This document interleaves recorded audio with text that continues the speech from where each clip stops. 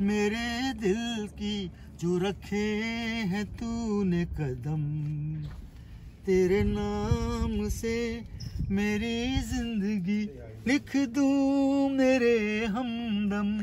न सीखा मैंने जीना जीना, कैसे जीना? न सीखा मैंने जीना मेरे हमदम। वाह वाह वाह वाह, मज़ा आ गया।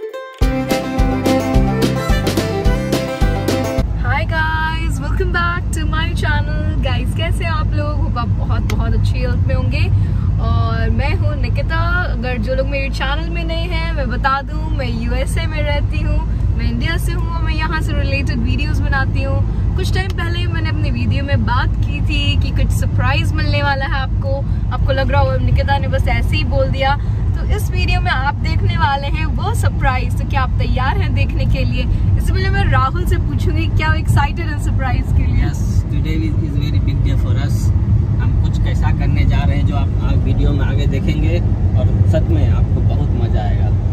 तो चलिए आप में हमारे वीडियो में ट्यून रहे और आगे देखते रहें क्या क्या हो रहा है। आज का वेदर भी काफ़ी ज़्यादा अच्छा है और तो आज मेरा बहुत ज़्यादा बिज़ी डे था लेकिन मेरी एक्साइटमेंट डबल हो चुकी है क्योंकि आ, कुछ कोई एक ऐसे शख्सियत आने वाले हैं जिसको कोई आ, जिसकी कोई पहचान ये मोहताज नहीं है।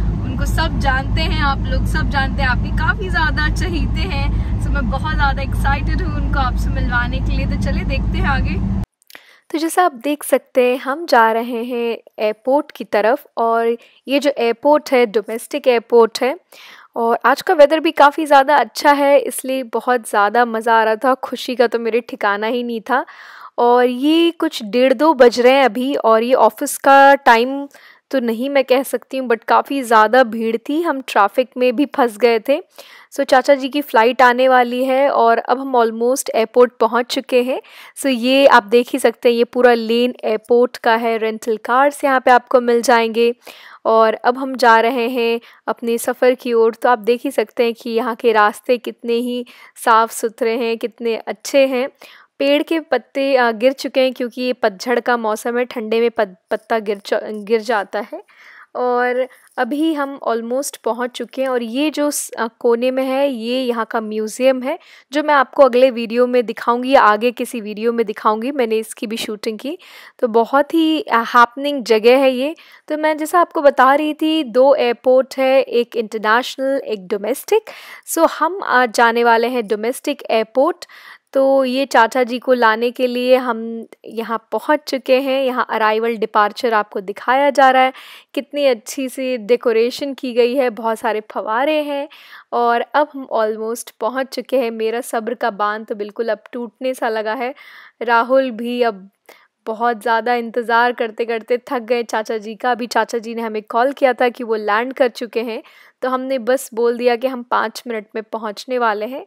और अब हम ऑलमोस्ट पहुँच चुके हैं जहाँ जिस आ, हमें लेन पे पहुँचना है वहाँ पे हम आ गए हैं और इस गेट पे आ, सारे डोमेस्टिक एयरपोर्ट्स ही आते हैं। सो इस एयरपोर्ट का नाम जो है लव फ़ील्ड डैलस एयरपोर्ट है और जैसा नाम है इसका वैसे ही ये पूरे रेड में बना हुआ है। मुझे बहुत ही ज़्यादा अच्छा लग रहा था तो मैंने सोचा कि आप लोगों को भी दिखाऊँगी। और मैं आपको कभी और इंटरनेशनल एयरपोर्ट भी दिखाऊँगी जब मैं इंटरनेशनली ट्रैवल करूँगी मतलब दूसरे देश या मैं इंडिया आती हूँ। ये हम पहुँच चुके हैं डैलस के लव फ़ील्ड एयरपोर्ट पे। और चाचा जी ने हमें फ़ोन कर दिया है, जैसे मैंने आपको अभी बताया। और अब हम यहाँ पर आ गए हैं और हम कार पार्क कर देंगे और चाचा जी का वेट करते हैं और देखते हैं और उनसे मिलवाते हैं आपको। जैसा कि आप देख सकते हैं, हम एयरपोर्ट पहुँच चुके हैं। ये डैलस का डोमेस्टिक लवफील एयरपोर्ट है। हम यहाँ पहुँच चुके हैं। चाचा जी अभी फ़्लाइट लैंड कर चुकी है। वो अब कुछ ही मिनटों में बाहर आने वाले हैं। चाचा जी अब बाहर आएँगे और हम चाचा जी को पिक करेंगे। हमारी गाड़ी यहीं खड़ी है एयरपोर्ट के जस्ट गेट के बाहर। हमने गाड़ी लगा रखी है। और वेट कर रहे चाचा जी का। चाचा जी आएँगे और फिर चाचा जी को लेकर अपने घर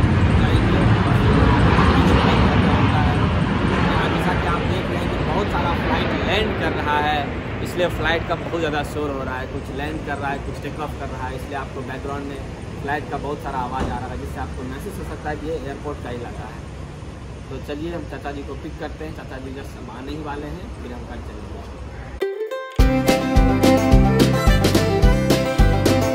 तो जैसा आप देख सकते हैं, चाचा जी आ चुके हैं और हम अब चाचा जी से मिलने वाले हैं। तो बहुत ज़्यादा एक्साइटेड राहुल चाचा जी से मिल रहे हैं और मैं बिहाइंड द कैमरा हूँ। अंकल फाइनली पहुँच गए डायलस फाइनली फाइनली तो कैसा लग रहा है अंकल डायलस का वहाँ कैसा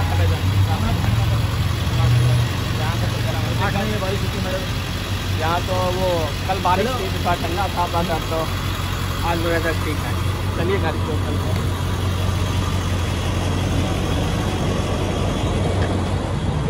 अब हम सामान रख देंगे चाचा जी का गाड़ी में और अब मैं खुद ही मिलूँगी चाचा जी से। मैं बहुत बहुत एक्साइटेड थी काफ़ी टाइम से एक्साइटेड थी। आ, गाड़ी में सामान रख रहे हैं और चलिए अब हम मिलते हैं चाचा जी से। गाइस आप देख सकते हैं मेरे साथ कौन है? ये किसी पहचान की मोहताज ही नहीं है। मैं बहुत ज़्यादा एक्साइटेड हूँ।